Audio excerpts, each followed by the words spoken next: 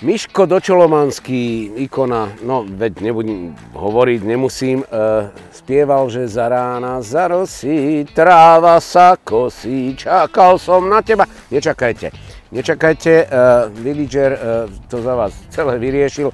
Ozaj, kto za vás nakul kosu niekedy? A viete, čo to je? Alebo ocielka, čo to je? Neviete? No tak villager to za vás vyriešil. Poďte, ja vás s tým všetkým zoznámim.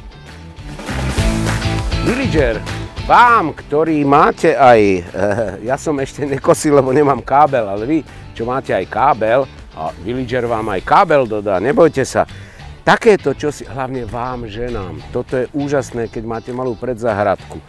1400 W čo, kosačka úžasná, má 34 e, záber centimetrov, má 35, nie kubíkový, litrový kôž, a veľmi lahúčky. No, no čo vám poviem, no tak je to lahúčky, no tak e, dojdite, hej, a villager vám povie, že čo.